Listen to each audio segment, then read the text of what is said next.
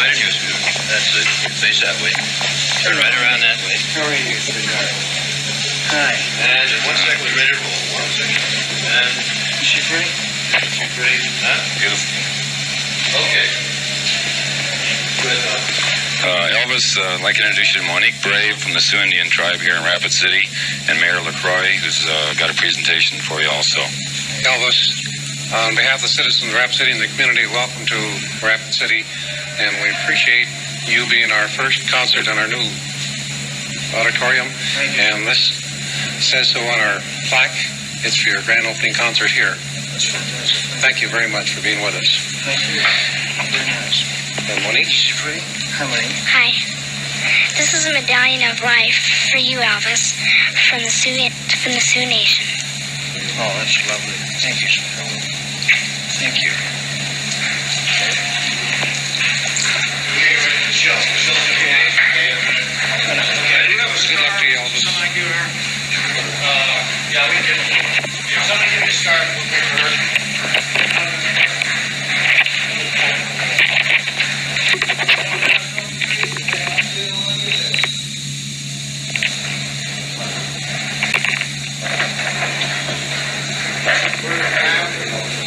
Yeah.